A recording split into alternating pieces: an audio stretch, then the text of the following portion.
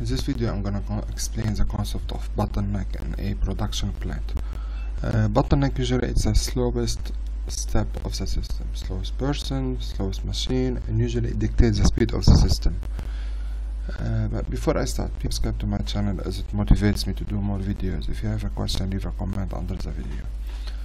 So, in this example we have plastic firm has four work centers as A, B, C, D and they are sequential as one after another the number inside the box as the number of units per day and the actual output is shown at the end of it.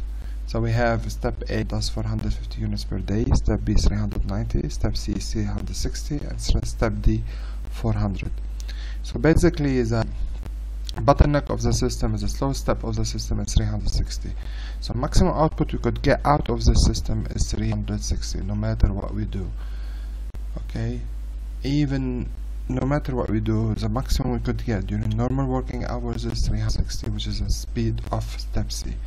However the speed the actual output it might be the demand needed is 306 so we just manufacture 306 or it might be as well we're doing 360 but due to scrap rate and inspection after production uh, the output's going down to 306 طب let's let's assume that the demand is 306 so we have the um, uh, bottleneck 360 however we're producing 306 therefore we don't even need to produce uh, by the capacity of the system. Capacity of the system is 360 however we produce 306 as the actual output in order to meet the demand which is 306 so for example step A can it does 150 per day but we're only producing 306 so kind of if we consider the day as 10 units of hours so A is busy like 80% of the time